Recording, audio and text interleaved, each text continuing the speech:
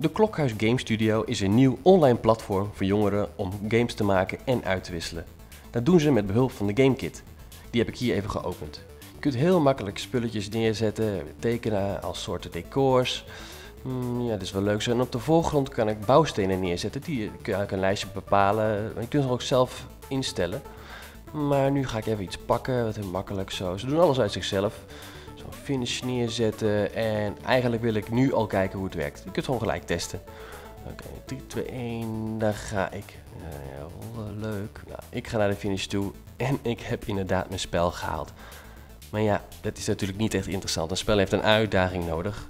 Dus ik denk, uh, ik sleep een uh, gevaarlijk obstakel uit de bouwstenenlijst en wat punten erbij. En dan kijken of het al wat interessanter is. Oké, ik moet punten halen, daar, oppassen voor dat ding. Oké, dan kom ik, oh, 50 punten. Oppassen dat ik daar, dat is al echt bijna een echt, echt spel. Oh, draai achterbaan, ik zal maar snel de finish pakken, anders haal ik het niet eens.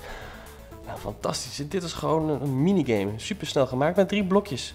En de GameKit zit echt vol met bouwstenen en mogelijkheden. En zo kun je echt vele games maken met heel veel levels.